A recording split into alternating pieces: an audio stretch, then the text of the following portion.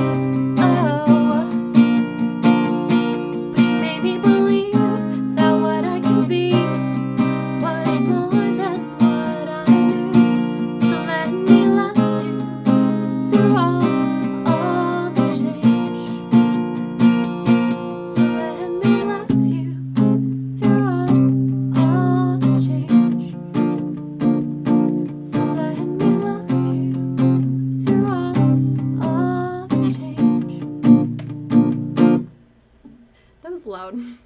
So it's like 2 a.m. 2 or 4 a.m. here, so I'm trying to be quiet. Also, like I messed up a couple times, but eh, eh, it's okay. it's okay. You get the you get the gist of it. But yeah, that was an original, and I hope that I can do a couple more originals as the year progresses because I have a couple that I am proud of and that I never have like posted online. So I would I would like to get my stuff out there more. So I hope you guys enjoyed it, and I will see you guys around. Until next time.